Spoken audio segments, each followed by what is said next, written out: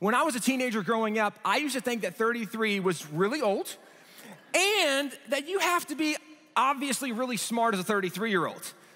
I'm a little past 33. I realize, first of all, it's not that old. Prospective teenagers, okay, it's not that old. And you're not inherently really smart as a 33 year old, which makes it even more profound what Jefferson wrote in the Declaration as a 33 year old man, encapsulating so many brilliant thoughts. And, and I want to read a couple we'll probably recognize. We hold these truths to be self evident that all men are created equal, that they're endowed by their Creator with certain inalienable rights, that among these are life, liberty, and the pursuit of happiness, that to secure these rights, governments are instituted among men, deriving their just power from the consent of the governed.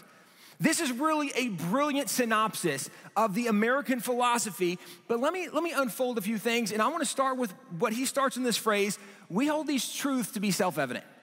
See, we live in a culture today that isn't sure truth even exists anymore. Now, let me tell you, as a Christian, if you don't understand the foundation of truth being God and found in God's word, then we have a different problem, right? Truth exists. It's found in the person of Jesus. John 14, 6, he said, I am the way, the truth, and the life. Truth does exist. We find in God's word. With all that being said, the founding father said there is truth that we are basing our actions, our behavior, our decisions on. And this is what Jefferson said they believe to be true. He said that, that all men are created equal, that, that we've been given rights by God, and that government exists to protect those God given rights. I would also point out that a lot of people today, when, when we read the Declaration, we hear, well, Jefferson might have written that all men are created equal, but he really only cared about equality for white people. I would challenge you go back and read Thomas Jefferson's original draft of the Declaration. Because the Declaration that we know today was the final version approved by Congress. John Hancock said they could only include in the Declaration what everybody agreed to, which is why the final Declaration says the unanimous Declaration of the 13 United States of America. Everybody had to agree to it. When Jefferson originally drafted the Declaration and he had a listing of all the grievances, the problems we had with the king, the longest grievance in the entire Declaration was a grievance against slavery. He said, We've had several colonies try to end slavery, and the king actually vetoed the laws, and, and we've had several colonies try to stop the importation of slave. And, and here's where it gets interesting. He said, The king has enslaved these men, bringing them from their continent across the sea to this continent to put them in perpetual slavery.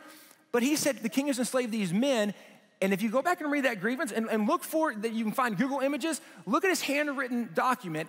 When he says men, he puts it in full caps locks, capital M E N. He says the king has enslaved these men. Why does that matter? Because when Jefferson wrote that all men are created equal, he was recognizing something much deeper than what most of us understand the Declaration to mean today that everybody in all of the universe made in God's image, there is equality in that. Now, I don't have time to go a lot deeper than that, but let me just back up.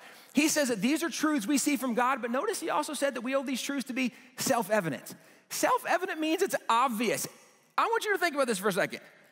Is it obvious in the world that everybody's equal? Or that we all have rights from God? Or that government exists to protect those rights? Because it's not obvious in China, it's not obvious in Russia, it's not obvious in most of the Middle East. It's not obvious in most of Europe. It's not obvious in most of Africa or Central and South America. So, why would they say these were obvious? Because also, it's worth noting, these were not obvious in the king's eyes, right? Like the king didn't agree with any of this. Who were these truths obvious to?